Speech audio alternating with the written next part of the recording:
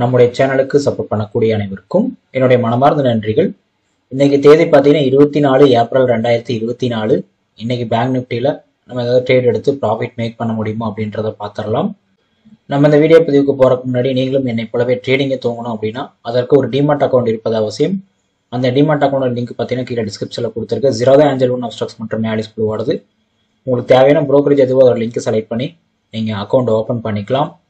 அதே மாதிரி கீழே டிஸ்கில் கொடுத்துருக்க இந்த டெலிகிராம் லிங்க்ல நீங்கள் ஜாயின் பண்ணுறது மூலமாக நான் கொடுக்கக்கூடிய ஃப்ரீ கால்ஸை பயன்படுத்தி உங்களால் ஸ்டாக் மார்க்கெட்டில் சிறிய அளவிலான லாபங்கள் சம்பாதித்துக் கொள்ள முடியும். ஸோ விருப்பம் மட்டும் அந்த சேனலில் ஜாயின் பண்ணிவிட்டு அந்த கால்ஸை நீங்கள் பயன்படுத்தி கொள்ளலாம்.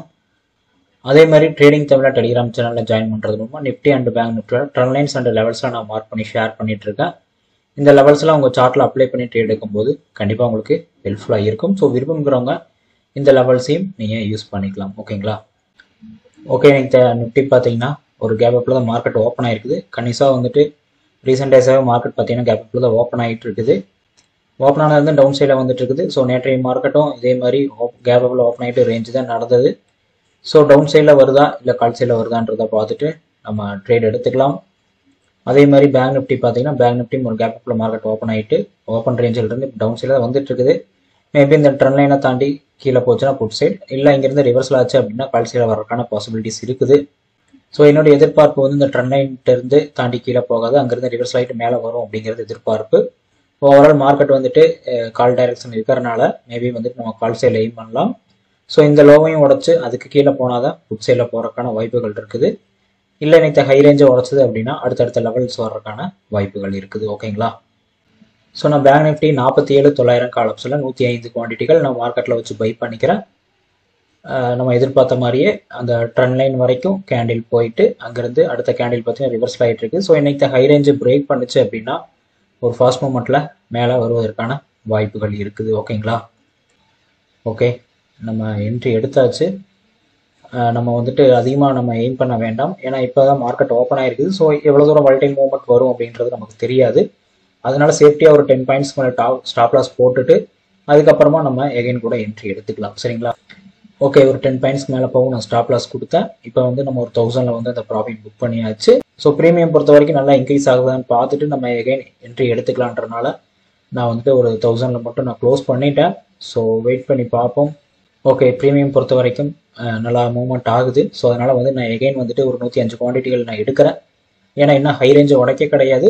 ஸோ அந்த ஹை ரேஞ்சிட்ட போயிட்டு அந்த ஹையை உடைக்கும் போது ஒரு ஃபாஸ்ட் மூமெண்ட் வரும். அதனால வந்துட்டு இந்த இடத்துல நம்ம ஒரு டீசெண்டான ப்ராஃபிட் புக் பண்ணலாம் அப்படின்ற எண்ணத்தில் தான் நான் எகைன் ட்ரேட் எடுத்திருக்கேன். ஸோ வெயிட் பண்ணி பார்ப்போம். ஓகே இப்போ ஒரு டூ தேர்ட்டி வரைக்கும் மூவ்மெண்ட் ஆகிட்டு இருக்குது. நான் வந்து ஒரு டூ ஃபார்ட்டிக்கு மேலே போச்சுன்னா அந்த இடத்துல நான் ஸ்டாப் லாஸ் போட்டு க்ளோஸ் பண்ணிடலான்ற மாதிரி வெயிட் பண்ணுறேன் ஸோ வெயிட் பண்ணி பார்ப்போம். ஒரு டுவெண்ட்டி பாயிண்ட்ஸ்க்கு மேலே நமக்கு இந்த பொசிஷனில் கிடைக்குதான்றதை பார்த்துடலாம். ஓப்பன் இன்ட்ரெஸ்ட்டை பொறுத்த வரைக்கும் ஆரம்பத்தில் வந்து புட் சைடில் உங்களுக்கு காட்டினாலும் கூட இப்போ வந்து ஓப்பன் இன்ட்ரெஸ்ட் வந்து சேஞ்ச் ஆகிட்டே வருது. அந்த சேஞ்ச் ஆகும்போது என்ன ஆகுதுன்னு பார்த்தீங்கன்னா புட் சைடை விட கால் சைடில் வந்து ஓப்பன் இன்ட்ரெஸ்ட் அதிகமாகிட்டே வருது. அதுவும் இல்லாமல் மார்க்கெட் ஓவரால் கால் சைடில் தான் இருக்குது அப்படின்றனால தான் சின்ன சின்ன டவுன் விட்டு நம்ம எகைன் எகைன் கால் சைடில் என்ட்ரி எடுத்துகிட்டு இருக்கோம். ரீசெண்ட் டேஸாகவே பார்த்தீங்கன்னா தெரியும் அதிகமாக கால் சைடில் தான் என்ட்ரி எடுத்திருப்பேன். ஓவரால் மார்க்கெட் கால் சைடில் அப்படின்றனால நம்ம கால் சைடில் என்ட்ரி ஆகிட்டு இருக்கோம். இந்த ப்ரீமியம் கரைக்கிறதுக்காக தான் இந்த மாதிரி கன்சால்டேட்லாம் நடக்குது. ஸோ அந்த கன்சால்டேட்டை பார்த்து நம்ம பயந்தோம் அப்படின்னா ட்ரேட் எடுக்க முடியாது.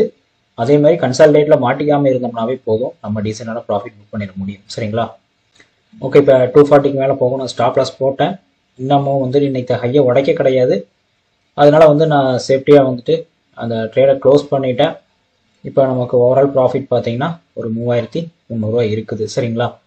ஸோ இப்போதைக்கு வெயிட் பண்ணுவோம். இன்றைக்கி ஹை ரேஞ்சை உடைக்குதா? ஹை ரேஞ்சை உடச்சி எவ்வளோ தூரம் மேலே போகுதுன்றதை நம்ம பார்த்துட்டு அதுக்கப்புறம் நம்ம எகைன் என்ட்ரி எடுத்துக்கலாம். சரிங்களா? ஸோ இப்போதைக்கு ஒரு ரெண்டு ட்ரேட் எடுத்து இதுவே ஒரு மூவாயிரத்தி முந்நூறுரூவா இந்த மார்க்கெட்டுக்கு ஒரு நல்ல ப்ராஃபிட் தான் நான் சொல்லுவேன்.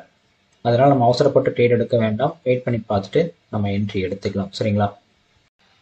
ஓகே இப்போ ஆல்மோஸ்ட் மார்க்கெட் க்ளோசிங் டைம் ஆயிருச்சு. பெரிய அளவில் மூவ்மெண்ட் எதுவும் கிடையாது. அதாவது இந்த ட்ரெண்ட் லைன்லேருந்து இருந்து ஆகும்னு எதிர்பார்த்தோம். அதே மாதிரி ட்ரெண்ட் லைன் இருந்து ரிவர்ஸில் ஆச்சு. கால் சைடில் வந்த மார்க்கெட் பார்த்தீங்கன்னா இந்த ஆர் ஒன் லெவல் வரைக்கும் தான் வந்தது. ஸோ அந்த ஆர் ஒன்னை பிரேக் ஆக கிடையாது. எக்ஸாக்டாக பார்த்தீங்கன்னா இந்த ஆர் ஒன் ரேஞ்சிட்டே பார்த்தீங்கன்னா கன்னிஸாக வந்துட்டு திரும்ப ரிவர்ஸில் ஆகிறது திரும்ப கீழே வந்து சப்போர்ட் எடுக்கிறது திரும்ப ரிவர்ஸில் ஆகிறது இந்த மாதிரி ஒரு ரேஞ்சுக்குள்ளே தான் மூவ்மெண்ட் ஆகிட்டு இருக்குது. ஒரு ஃபைவ் மினிட்ஸில் பார்த்தீங்கன்னா தெரியும் எந்த அளவுக்கு ஒரு கன்சல்டேட் ஆகிருக்குன்றத ஓகேங்களா பார்த்தீங்கன்னாவே தெரியும். ரொம்ப நேரமாகவே பார்த்தீங்கன்னா ஒரு பயங்கரமான ஒரு கன்சல்டேட்டில் தான் இன்றைக்கி இன்னைக்கு ஃபுல்லாக நடந்தது. ஸோ நான் ரொம்ப நேரமாகவே வந்துட்டு ட்ரேட் எதுவும் எடுக்க கிடையாது. நாற்பத்தெட்டாயிரம் காலில் வந்துட்டு ஒரு ரெண்டு ட்ரேட் எடுத்தேன். ஒரு ட்ரேடு வந்துட்டு எடுத்த இடத்துல நான் க்ளோஸ் பண்ணிட்டேன். ஸோ எகைன் வந்துட்டு கடைசியில் ஒரு ஆப்பர்ச்சுனிட்டி கிடைக்கும் போது ஒரு ஆயிரம் மட்டும் ப்ராஃபிட் புக் பண்ணிவிட்டு அவன் ஓவரால் பார்த்தீங்கன்னா இன்றைக்கி ஒரு நாலு ட்ரேட் பக்கம் ஆச்சு. இப்போ இன்றைக்கி நம்ம ஓவரால் ப்ராஃபிட் பார்த்தீங்கன்னா நாலாயிரத்தி நானூறுரூவா இருக்குது சரிங்களா? ஸோ இந்த மாதிரி ஒரு ரேஞ்ச் மார்க்கெட்டில் நம்ம இவ்வளோ தூரம் ப்ராஃபிட் மேக் பண்ணதே ஒரு நல்ல விஷயம் தான் நான் சொல்லுவேன். ஆரம்பத்திலே வந்து இந்த இடத்துலயே நம்ம வந்து ஒரு மூணு ரூபா பக்கம் ப்ராஃபிட் புக் பண்ணியாச்சு. நான் வந்துட்டு ஓவரால் கால் சைடில் எதிர்பார்த்தேன். இந்த மாதிரி ஒரு ரேஞ்ச் ஆகும்னு எக்ஸ்பெக்ட் பண்ணலை. கால் சைடு எதிர்பார்த்தனால ஒரு இந்த ப்ரீவியஸ் கையை உடச்சி மேலே போகும் என்ட்ரி எடுத்துக்கலான்ற மாதிரி வெயிட் பண்ணிட்டு இருந்தேன். ஆனால் ரொம்ப நேரம் ஆகியும் கூட அந்த கையை உடச்சி மேலே போகவே கிடையாது. ஸோ அதனால் அந்த ரேஞ்சுக்குள்ளேயே ட்ரேட் எடுத்து நம்ம க்ளோஸ் பண்ணிடலான்றனால நாற்பத்தெட்டாயிரத்தில் வந்து எகைன் ட்ரேட் எடுத்து அதில் ஒரு ஆயிரம் ப்ராஃபிட் புக் பண்ணியாச்சு. ஸோ இப்போ பார்த்தீங்கன்னா நாலாயிரத்தி நானூறுரூவா இருக்குது. ப்ரோக்கரேஜ் சார்ஜஸ் எவ்வளோ அப்படின்றதையும் போய் நம்ம செக் பண்ணிக்கலாம். கான்ட்ராக்ட் நோட்டில் பார்த்தீங்க அப்படின்னா நானூற்றி நாற்பத்தி ஆறுரூவா ப்ரோக்கரேஜ் சார்ஜஸ் வந்துருக்குது. சரிங்களா? ஸோ அந்த ப்ரோக்கரேஜ் சார்ஜஸ் போக நமக்கு நாலு ரூபா ப்ராஃபிட் நிற்கும். சரிங்களா? ஸோ அந்த மாதிரி கன்சல்டேட் மார்க்கெட்டில் வந்து நம்ம ரொம்பவுமே கேர்ஃபுல்லாக ட்ரேட் எடுக்கணும்.